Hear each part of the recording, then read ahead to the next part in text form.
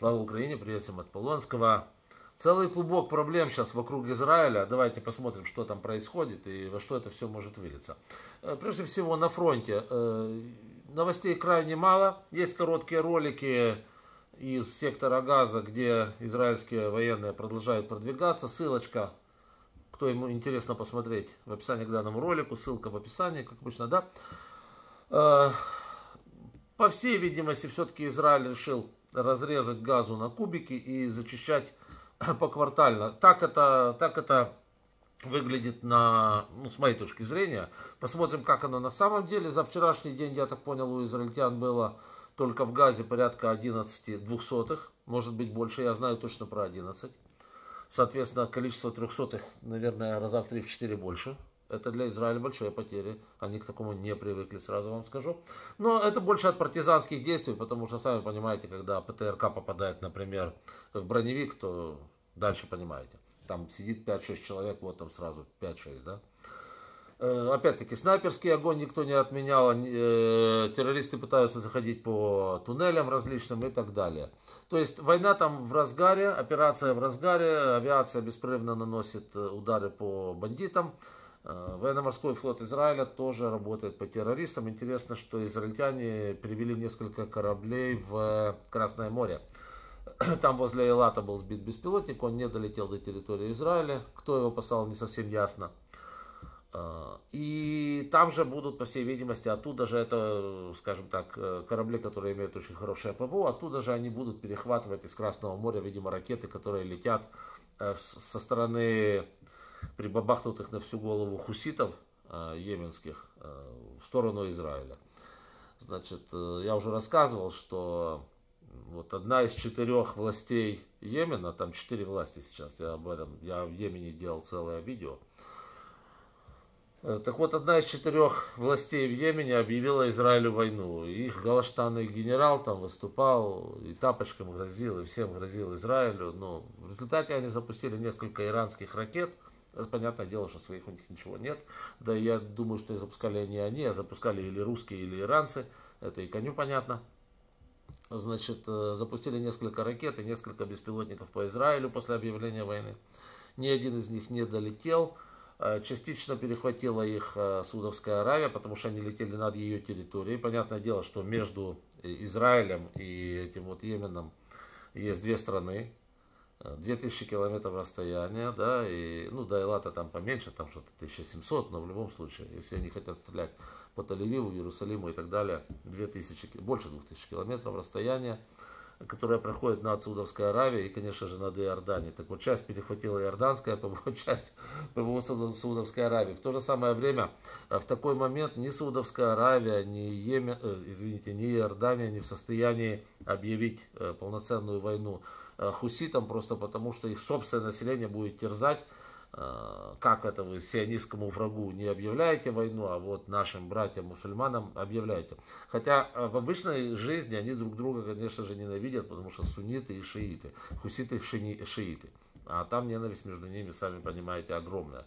Вот, только стоит вспомнить Ирано-Иракскую войну, на которой по разным оценкам там, от 2 до 4 миллионов человек было убито. И это именно частично была тоже религиозная рознь, религиозная война, в том числе. Вот. Хотя там, конечно же, были причины и другие. Э, значит, э, хуситы обстреливают Израиль, но я же говорю, попадают пока черти куда и черти как.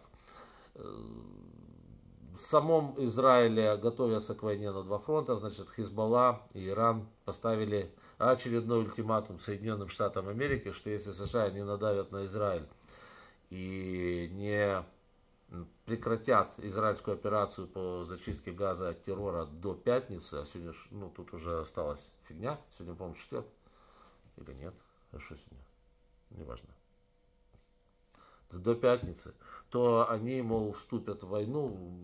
Иранский министр иностранных дел просто угрожал. Но эти угрозы, знаете, мне они напоминают немножечко угрозы вот этого смешного Димона Медведева, алкогнома который 152 красные линии провел, потом перечертил их в коричневое, потом в буро-коричневое, а, а потом просто запил.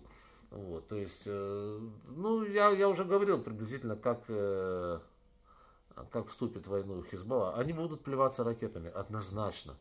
Они будут э, проклинать в прессе, однозначно. Но до полноценного вот такого боевых действий стопроцентно, когда они пустят э, в ход э, пехоту, потому что пехота решает все, с моей точки зрения, дело не дойдет, потому что им нет смысла подставляться из-за Хамаса, который является их конкурентом, да еще и иноверцами.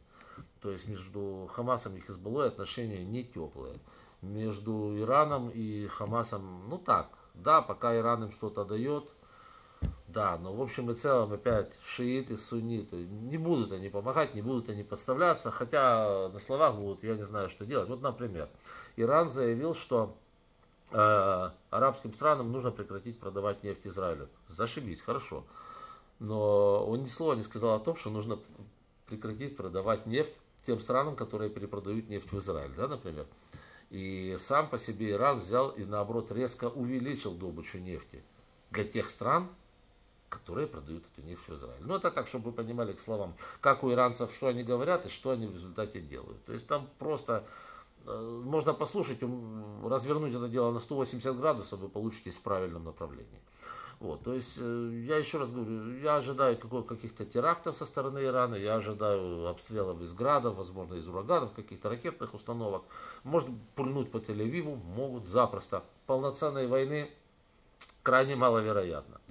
Это один момент. И еще один момент там же из Израиля. Один из хамасовцев, из топовых хамасовцев, зовут его Рази Хамад, он просто озвучил то, что Хамас хочет делать. Значит, Хамас, как он сказал, цитата, перевод с арабского. Мы будем повторять события 7 октября снова и снова до полного уничтожения Израиля. Это цитата, конец цитаты.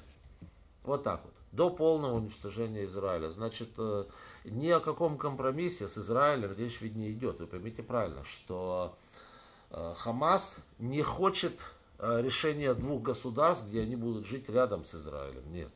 Они хотят жить вместо Израиля. Ну, точно так же, как русские хотят жить вместо нас в Киеве. Вы понимаете, да? То есть, и вот, э, вот этот момент, когда хотят жить вместо нас, не, остает, не оставляет нам э, слишком большого пространства для маневра, да, приходится брать автомат и, и что-то делать с этим вопросом. Желательно не автомат, а что-то помощнее. Вот. То есть э, речь идет о том, что хамасовцы сознательно заходили, сознательно убивали всех, абсолютно кого они встретили, просто потому что они хотят уничтожить Израиль. Но абсолютно то же самое, что русские делают в Украине. Они тупо убивают всех, чтобы жить вместо них. Так они делали в Херсоне, так они делали в Мариуполе. В Мариуполе там вообще там они 100 тысяч человек, говорят, убили в общей сложности.